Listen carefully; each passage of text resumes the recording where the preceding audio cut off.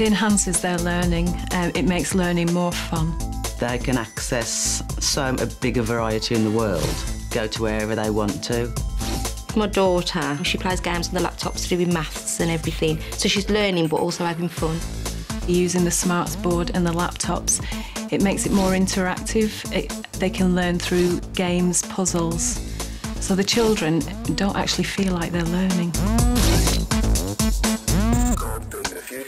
It's had a great impact on us as a family because I've learnt more and my son has been showing us more and also he's been very helpful in teaching his younger brother as well.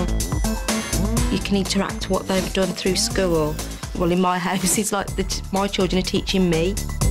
I can go onto the Trinity website and go on to Engage. On there, I can look at the planning and with my child, look at their work as well. And it's great. I can email teachers if I have a problem or a question. I think ICT is important because without it, they're not going to get a job in the future. They need ICT in every workplace. It's like second nature to most of the children here with ICT. ICT is great for children's achievement. It really builds on their confidence. For my child, it does open it up and he can learn in different ways using the ICT.